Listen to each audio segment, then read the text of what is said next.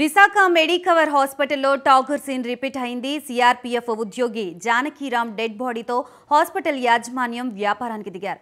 మరణించిన వ్యక్తికి వారం రోజుల పాటు ట్రీట్మెంట్ చేశారు. ట్రీట్మెంట్ పేరుతో జానకీరామ్ కుటుంబ సభ్యుల నుంచి భారీగా డబ్బులు దండుకున్నారు. చివరికి ఇవాళ ఉదయం ఆయన మరణించినట్లు ప్రకటించారు. దాంతో బంధువులు హాస్పిటల్ ముందు ఆందోళన చేపట్టారు.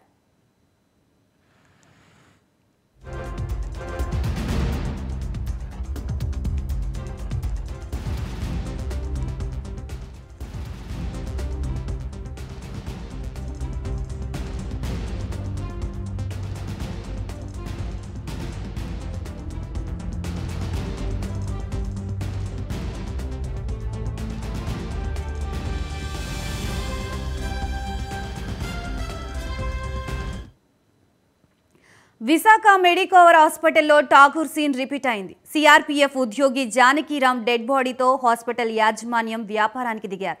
మరణించిన వ్యక్తికి వారం రోజుల పాటు ట్రీట్మెంట్ చేశారు. ట్రీట్మెంట్ పేరుతో జానకీరామ్ కుటుంబ సభ్యుల నుంచి భారీగా డబ్బులు దండుకున్నారు. చివరికి ఇవాళ ఉదయం ఆయన మరణించినట్లు ప్రకటించారు. దాంతో బంధువులు హాస్పిటల్ ముందు ఆందోళన చేపట్టారు.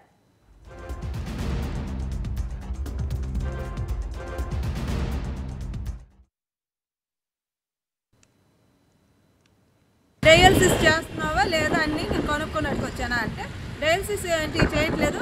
అంటే అక్కడ జూనియర్ డాక్టర్లు ఉన్నారు ఇక్కడ. మెయిన్ డాక్టర్లు మాత్రం ఇక్కడ ట్రీట్మెంట్ చేయట్లేదు. జూనియర్ డాక్టర్లే ట్రీట్మెంట్ మొత్తం. అయితే అయితే ఈ డయాలసిస్ చేస్తున్నామని చెప్పారు ఇంతవరకు ఏం చేయలేదంటే టైం ఉంటుంది దానికి. ఈ టైం కట్టి చేస్తామంటే మాకు మధ్యాహ్నం అర్జెంట్ అని మాకు క్లియరెన్స్ తీసుకుని రమ్మని చెప్పిన వాళ్ళు ఇప్పుడు దాకా మీరు ఎందుకు చేయలేదు?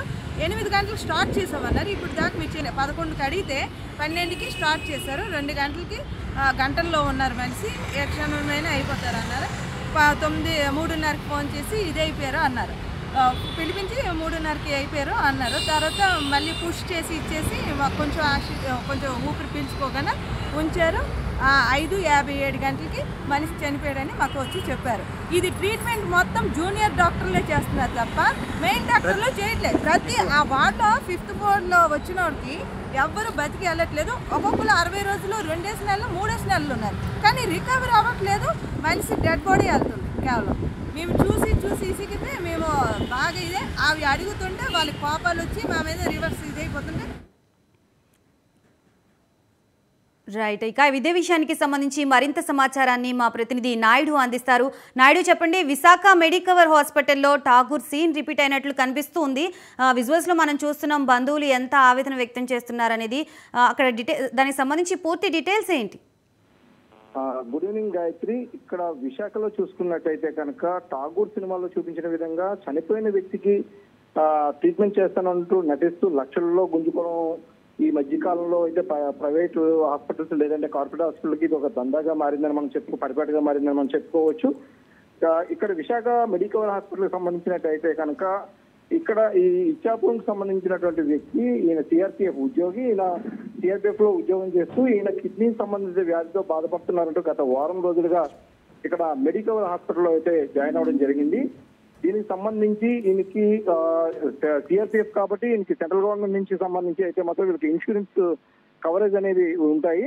సో దానికి సంబంధించి అయితే మాత్రం దాన్ని క్లెయిమ్ చేసుకుంటూ ఈయనైతే మాత్రం హాస్పిటల్లో జాయిన్ అవ్వడం జరిగింది. అయితే గత వారం రోజులుగా ట్రీట్మెంట్ చేస్తున్నామంటూ గత ఈ నెల పదమూడో తేదీ నుంచి ఈయనకి ట్రీట్మెంట్ చేస్తున్నామంటూ నటిస్తూనే నిన్న పంతొమ్మిది తారీఖున అయితే మాత్రం చూసుకున్నట్లయితే ఈయనకి కిడ్నీకి సంబంధించి అయితే మాత్రం డయాలసిస్ చేయాలని దీనికి సంబంధించి కొన్ని మందులు అయితే ఇక్కడ దొరకట్లేదు. సో మీరు బయటికి వెళ్ళి తీసుకుని రావాల్సి ఉంటుందని చెప్పేసి అయితే మాత్రం వాళ్ళకి చెప్పడం జరిగింది. అయితే వాళ్ళు బంధువులందరూ కూడా ఏమేంటంటే డయాలసిస్ చేస్తే ఖచ్చితంగా బతుకుతారని ఒక దృఢ సంకల్పంతో ఆయన వాళ్ళు అయితే మాత్రం చాలా నిబ్బరంగా మనోనిబ్బరంగా ఉన్నారు. అయితే ఈ మన్- మందులు తీసుకొచ్చి ఇచ్చిన తర్వాత అయితే మాత్రం లోపలికి ఎవరిని అనుమతించకుండా ఎందుకంటే ఈ పేషెంట్తో పాటు ఇతర పేషెంట్లు కూడా లోపల ఉన్నారు ఇన్ఫెక్షన్ అయితే కనుక వీళ్ళందరికీ కూడా ప్రాబ్లం అవుతుందని చెప్పేసి వీళ్ళెవరిని లోపలికి రానివ్వకపోవడంతో అయితే మాత్రం అయితే బంధువులందరూ కూడాను చాలా ఆతృతతో ఉన్నారు. కారణం ఏంటంటే వీళ్ళు ఖచ్చితంగా ట్రీట్మెంట్ చేస్తున్నారు కాబట్టి వీళ్ళు బ్రతుకుతారు. మళ్ళీ తన తండ్రి కానీ లేదంటే తన భర్త కానీ ఇంటికి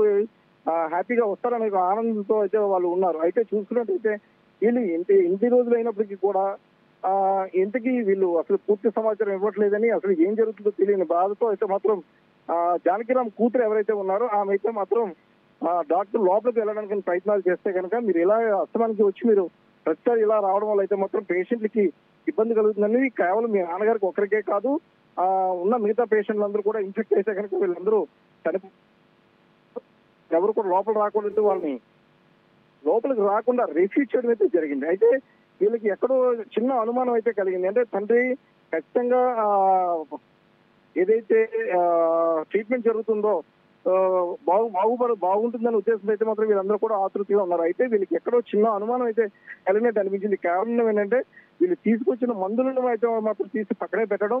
అదేవిధంగా వీళ్ళు డాక్టర్ని అడిగితే కనుక సీనియర్ డాక్టర్ వస్తారు. సీనియర్ డాక్టర్ వచ్చి వాళ్ళు చూసి తర్వాత డయాలసిస్ చేస్తారని అయితే చెప్పడం జరిగింది. కానీ వీళ్ళు అడిగిన తర్వాత వీళ్ళు పదే పదే అడుగుతుంటే డాక్టర్లు కూడా లేదంటే ట్రీట్మెంట్ అవుతుంది మీరు రాకూడదంటే వీళ్ళని బయటికి బయటికి పంపివేయడం కూడా జరిగింది.